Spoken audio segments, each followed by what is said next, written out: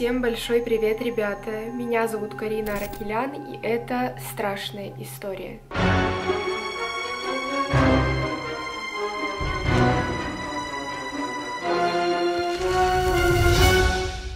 Я знаю, как сильно вы любите смотреть страшные истории на моем канале, поэтому я решила вот так вот начать три дня страшных историй, которые я для вас буду снимать. Естественно, все три истории, которыми я с вами поделюсь, они будут посвящены Хэллоуину, потому что скоро наступит этот долгожданный праздник, и в честь того, что я снимаю первое видео из трех дней, я решила сделать себе вот такой вот э, хэллоуинский макияж. Я надеюсь, что он вам нравится, что он немножечко прибавляет атмосферу атмосфера к моему ролику, и я постараюсь сделать все три истории, которые я буду для вас снимать, максимально интересными. Не забывайте подписываться на мой канал, если вы до сих пор этого не сделали, потому что не подписавшись, вы пропустите очень много всего интересного и будете натыкаться на мои видео еще не один раз. А также нажимайте на колокольчик, чтобы смотреть мои ролики первыми и никогда ничего не пропускать, потому что я очень часто выпускаю свои ролики именно премьерами. Также в этом видео я спрятала для вас всего два эмоджи, и ваша цель внимательно смотреть этот ролик и отыскать эти два два эмоджи,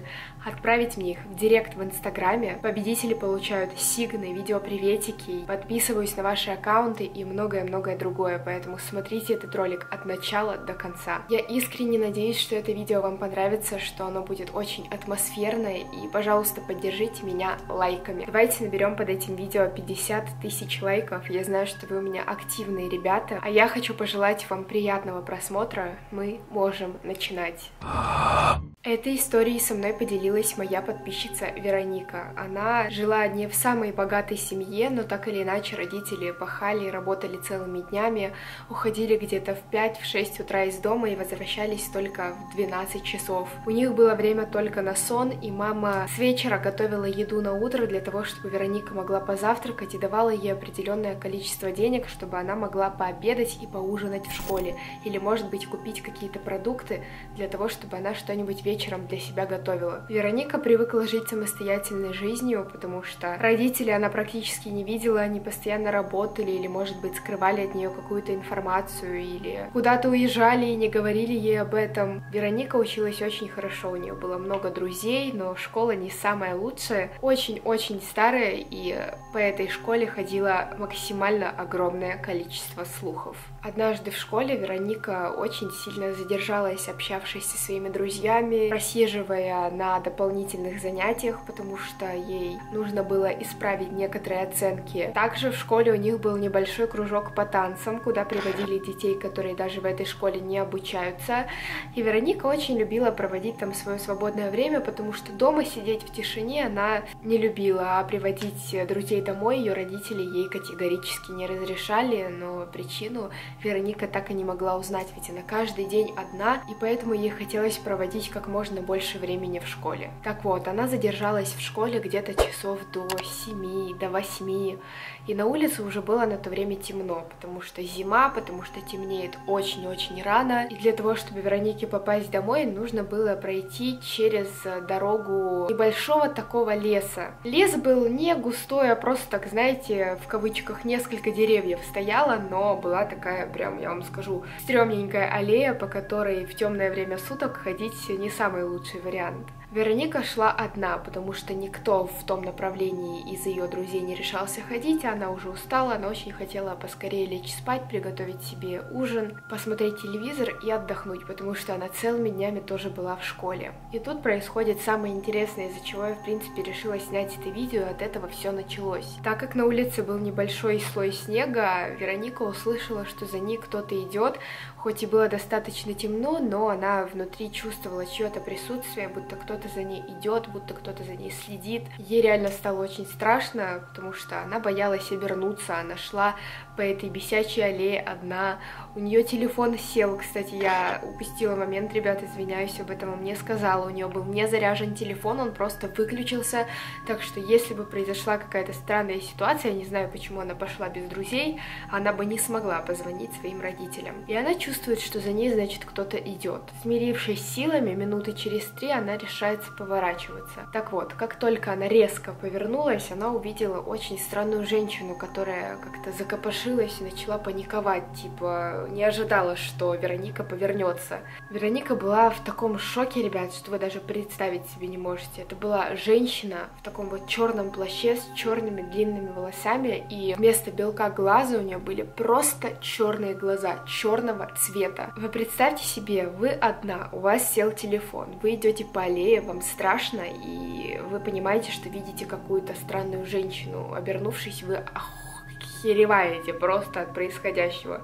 Она выглядела настолько страшно и неухоженно, была чем-то похожа на ведьму. Естественно, она сразу бросилась бежать, увидевший это чудо с ужасным внешним видом. Она просто бежала, сломя голову, и понимала, что эта женщина бежит за ней. Примерно минуты через две, когда Вероника уже была в огромнейшей панике, ее все-таки догнала эта женщина и прислонила ей свои ледяные руки к лицу. Она просто сделала ей вот так и очень сильно сжала лицо. У Вероники была такая паника, что она не понимала, двигаться ей, вырываться, у нее просто был ступор, она и не могла пошевелиться. Такое, кстати, у многих людей бывает, когда им страшно, они не хотят, типа, двигаться.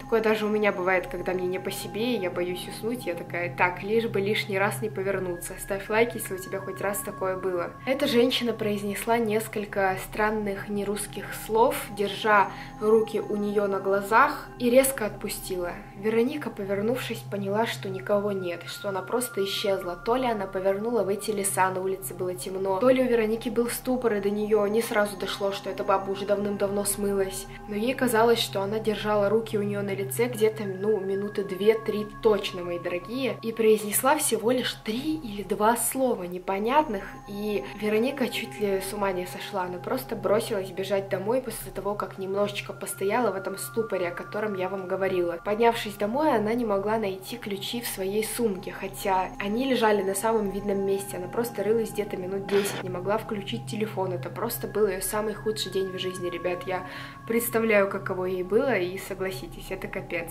Как только она пришла домой и поняла, что ей чересчур плохо, она побежала в туалет и решила посмотреть на себя в зеркало. Вы не представляете, что она увидела. Я, прочитав эту историю, ребят, почему-то решила сделать макияж именно такой себе на лицо. Посмотревшись в зеркало, Вероника увидела, что у нее по всему лицу огромное количество вен, как будто бы у нее кожа превратилась в какую-то пленочку. То ли вены расширились, то ли что-то произошло, но у нее кожа всегда была плотная и хорошая. Она охерела, посмотрев на себя, огромное количество вен по лицу. Сама по себе она достаточно стала бледной, у нее до сих пор кружилась голова, почему-то очень сильно хотелось в туалет. Причем приспичило ей резко в тот момент, когда та странная женщина прислонила руки к лицу. Родители Вероники вернулись где-то часов в 12, и почему-то Вероника сильно ступила и решила притвориться, что она спит. Хотя она не могла уснуть, ей было плохо, ее тошнило.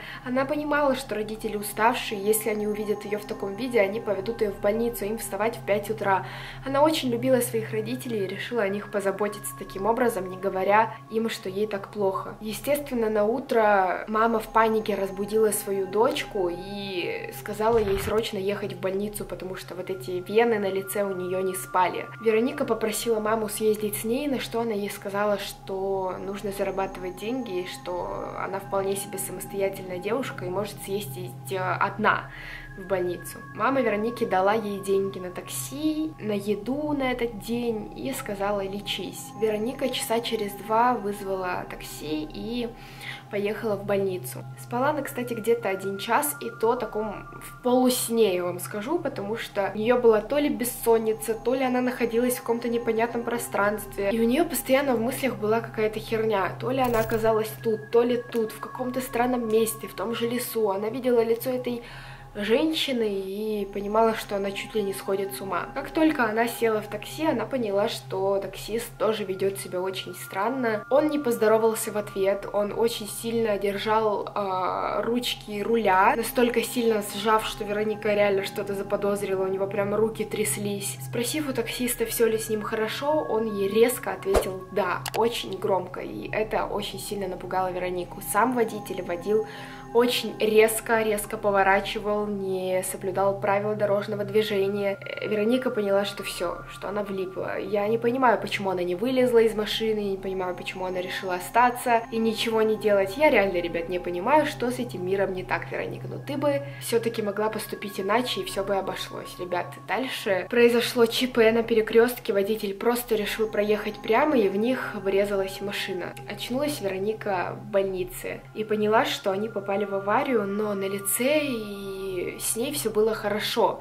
Она не поняла, почему у нее это вылетело из головы. Она лишь помнила то, что в них въехала машина и все. И она уже лежала в больнице. Она спросила, сколько времени прошло. Врачи ей ответили, что прошел один день. То есть уже прошло ночь, утро, день. И авария произошла еще вчера. Сказали, что Вероника была в отключке, и, может быть, она сильно напугалась, но у нее не было ни одной раны, только лишь оставались вот эти странные вены на лице. И Посмотревшись в зеркало, она поняла, что у нее начинают темнеть глаза. Точно так же белки стали уже какими-то темно-серыми. Она становилась какой-то странной и не могла контролировать себя. Ее навещали родители, они спрашивали, что случилось, но почему-то Вероника именно им не могла сказать, что, как, почему и зачем. Родителям она позвонила тогда, в тот день, и сказала, что она уже дома. Но почему-то она осталась в школе и пошла поздно вечером домой. Поэтому она подумала, что не стоит говорить родителям, что она им соврала, и молчала о том, что с ней происходит. Спустя три дня после того, как она лежала в этой больнице, у нее были видения, она не могла засыпать, у нее посинело все лицо, ей стало плохо, ее несколько раз клали под капельницу. Ребят, это просто трэш, такого не пожелаешь ни одному человеку. И потом ее перевели в психиатрическую больницу, потому что потом у нее начался полный трэш. Она не верила своим глазам, она постоянно видела ту женщину, которая прислонила руки к ее лицу. Она говорила родителям, что она кого-то видит, но родители, задавая ей вопрос, не получали получали абсолютно никакого ответа. Короче, это самый настоящий трэш, ребят, и э, пролежала она в больнице где-то две недели. Ее лечили, родители не понимали, что с ней делать. Вероника так и не рассказала своим родителям всю правду, что на самом деле произошло. Но врачи понимали, что у нее какое-то расстройство, и диагноз так и не могли установить конкретный, что с ней происходит, потому что то ли это психическое расстройство, то ли это она выпила что-то не то, то ли что-то что-то подмешали, потому что, ребят, у нее были нереальные галлюцинации, ей было плохо, ее тошнило, и она стала просто неузнаваемым человеком. Но помнит, она практически каждую деталь, которая с ней происходила, не считая аварии, потому что целый день у нее пролетел незаметно. Как ее до туда довезли, как на ней не осталось ни одной раны, ни ссадины, ничего она так и не поняла. Кстати, те деньги, которые ей дали родители, у нее вытащили из кармана, потому что Вероника их так и не нашла. Видимо, таксист просто решил их себе забрать. Через эти две ужасные недели Веронику выписали из больницы. У нее продолжаются какие-то страхи, она до сих пор ходит к психологу, хотя прошел целый год после того, как эта ситуация произошла. В этой школе раньше была преподавательница, очень странная женщина, которая в итоге покончила жизнь самоубийством, и она продолжает мучить детей, делать какие-то странные вещи. У них в школе пропадал мальчик, и он тоже лежал в психиатрической больнице. Как сказали его родители одной из его близких друзей, то, что он твердил одно и то же, эта женщина здесь, эта женщина опять ко мне придет и так далее. Это капец, это самый настоящий капец, Вероник. Еще раз огромное тебе спасибо, что решилась, рассказала мне эту историю. Я уверена, что в жизни у тебя все будет хорошо. Я понимаю, что всякие мистические сверхъестественные силы существуют, но с этим нужно как-то справляться, и я тебе советую сходить э, к профессионалу, может быть, какой-то гадалке или к человеку, который действительно в этом разбирается. Не нужно оставлять это все так, как есть сейчас. Еще раз огромное тебе спасибо, а вам, ребят, огромное спасибо за просмотр этого видео. Напоминаю вам то, что два эмоджи я для вас уже спрятала. Если вы их нашли, обязательно кидайте мне их в директ в инстаграме. Я реально в шоке, ребят, мне становится все страшнее и страшнее после ваших историй. Люблю каждого. Не забывайте про 50 тысяч лайков под этим видео, тогда выйдет следующая, вторая история. Я вас всех безумно люблю. Спасибо огромное за просмотр. Всем пока-пока.